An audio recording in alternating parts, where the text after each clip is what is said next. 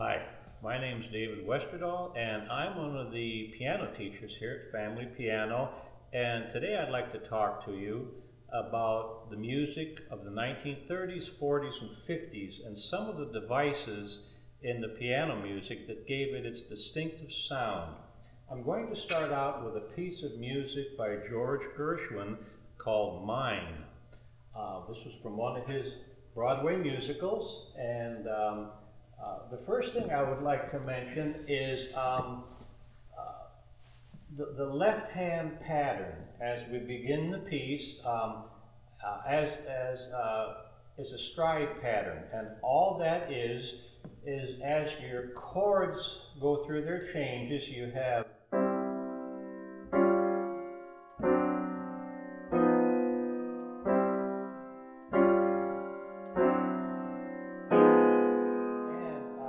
they just they put the bass note in and it's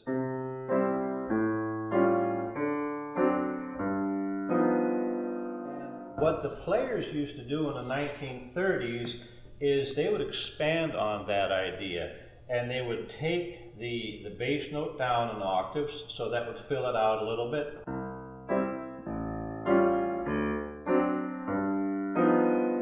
Another thing they would do is instead of just playing a simple bass note,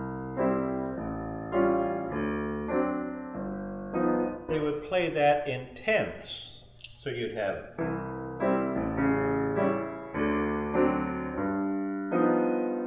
sometimes they would break the tenths or roll them and instead of playing them like this, they'd have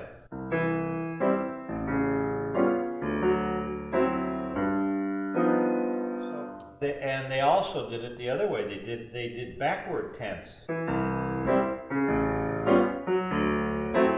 So uh, there are some of these devices in this piece of music that you will hear. Now, when we get to the second time through, uh, there's a counter melody that basically th this is uh, the, the main melody is.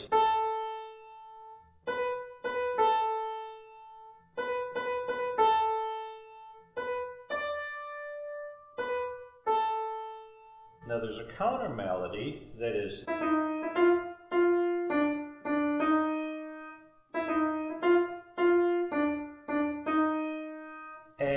First time through, the first, the first time through, they're playing the, the uh, main melody. The second time through, we hear the counter melody. And the third time through, uh, what we hear is the counter melody played in the right hand with chords.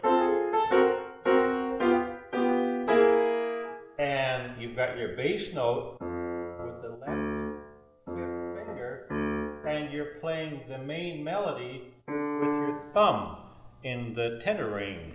So now I will attempt to put all that together and play it for you.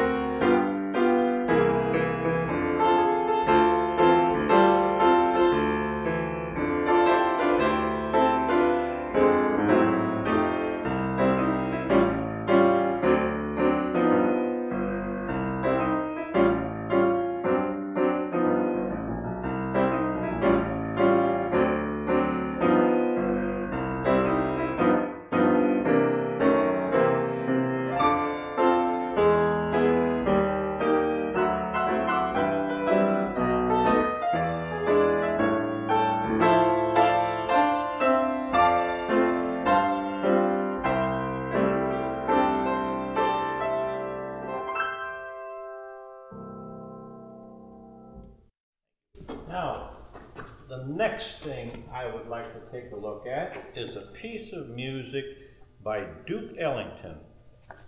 Now this is uh, another jazz standard, but it's set up a little bit differently. In, instead, of, instead of your uh, uh, pattern of the stride that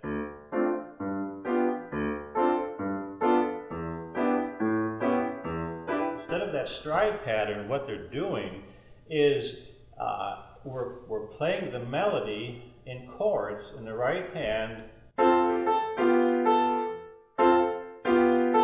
And in the left hand we're just playing a bass note.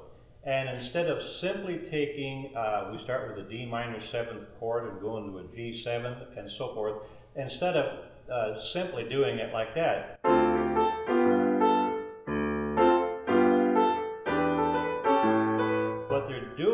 is the left hand is playing a pattern uh, to imitate the sound of having a bass player with you. So instead of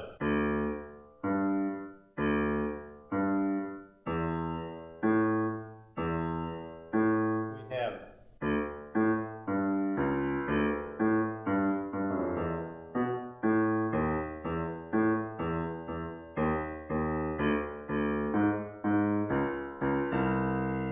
another thing you want to notice is we're swinging the beat. Instead, instead of playing it uh, strictly in rhythm, instead of them going.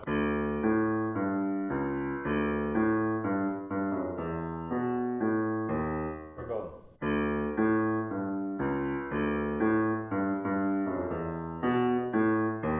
Swinging the beat. So, and then when we get to the middle section or bridge, we have a rhythmic break and we get away from that left hand pattern and we're playing the middle section in block chords.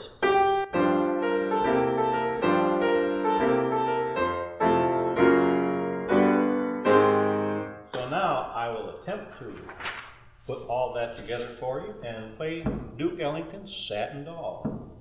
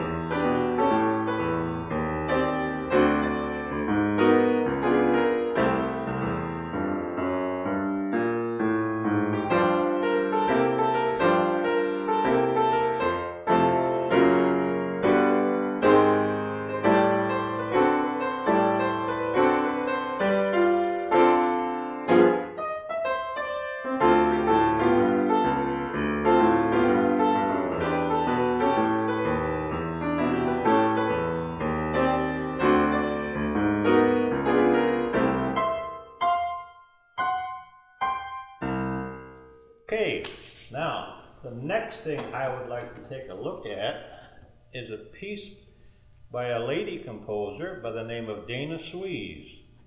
And it's called My Silent Love. And what's interesting to me on this piece of music is that um, the main theme is introduced uh, just chordally with block chords.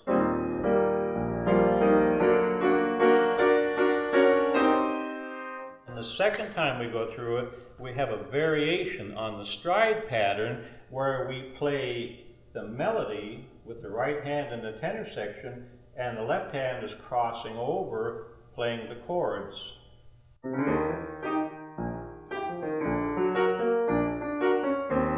Like that. So, now, uh, without any further ado, uh, and I don't think there's anything else in here that needs any explanation, but this is a nice piece, so give it a listen.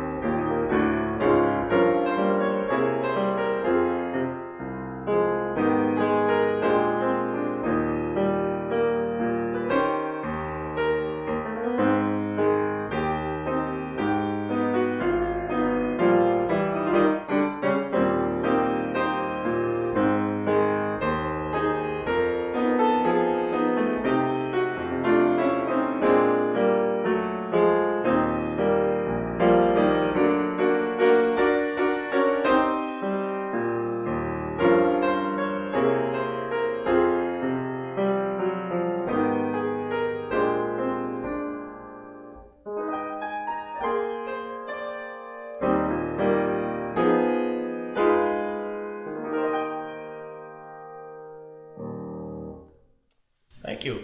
Now, uh, only one other thing I would like to say that uh, here at Family Piano, we have uh, a teacher that will be able to help you with whatever your interest is. If you like rock music, if you like big band music, if you like classical, whatever your interest is, there's someone here who can help you. Thank you very much.